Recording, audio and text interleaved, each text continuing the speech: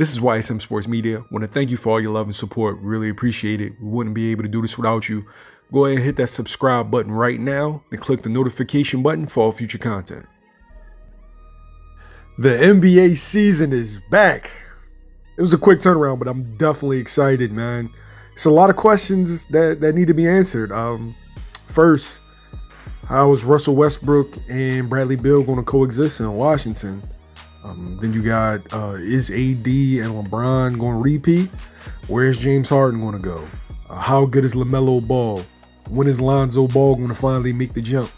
And with the additions of Kelly Oubre and James Wiseman, but losing Klay Thompson, how are the Warriors going to bounce back?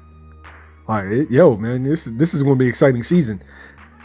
I feel like we're going to get more back to traditional NBA basketball than that bubble bullshit. I honestly don't have a, a prediction of who's going to win the title. It, this this shit is up in the air.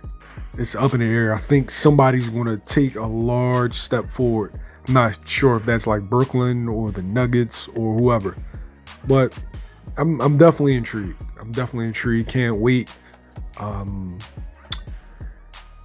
I would I would say first the Bucks. How how are the Bucks gonna look with Jrue Holiday, with another playmaker in there with Giannis, with a guy who can number one strap down.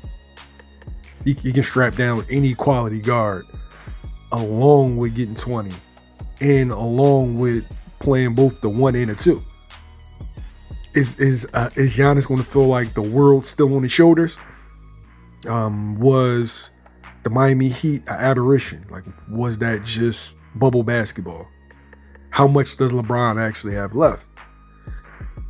Like, it, it's some questions to be answered. Is PJ is PG thirteen really ass? Because he looked like it.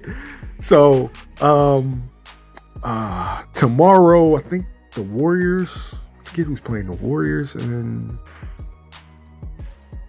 shit. I gotta go back and look at it. But um, yeah, I'm excited for opening night. Normally, opening night really doesn't doesn't give you a gauge because it, it, it's the first night. You you gotta like wait a week or two to really figure out what teams or who teams really are.